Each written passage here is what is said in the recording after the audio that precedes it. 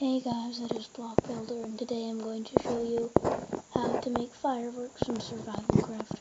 Now, basically, you guys can write in the comments if you want me to um, start doing a series of Survivalcraft, like possibly stuff like downloaded levels, or building, or parkour, or something.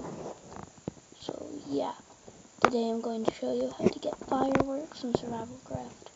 So basically what you do is you throw a bomb down on a tile, and then on the very same block you um, throw another bomb. Um, you throw another, you throw a bomb on a block, then a few seconds later you throw another bomb on the same block, and then it bomb up in the air. So yeah, let's try. Bam. And watch this. Boom.